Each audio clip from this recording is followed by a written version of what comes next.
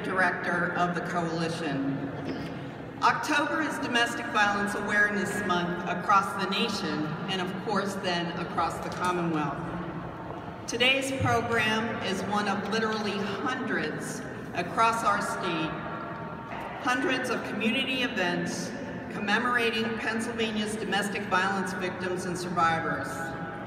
We encourage all of you watching to say no more, to say no more to domestic violence and sexual assault, by attending a Domestic Violence Awareness Month activity in your community. For a list of these events, please visit our website, www.pcadv.org.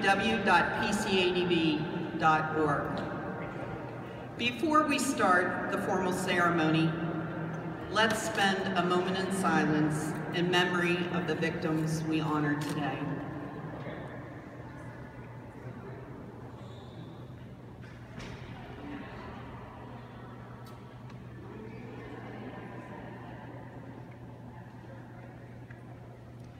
Before I introduce our keynote speaker, I'd like to thank several people for making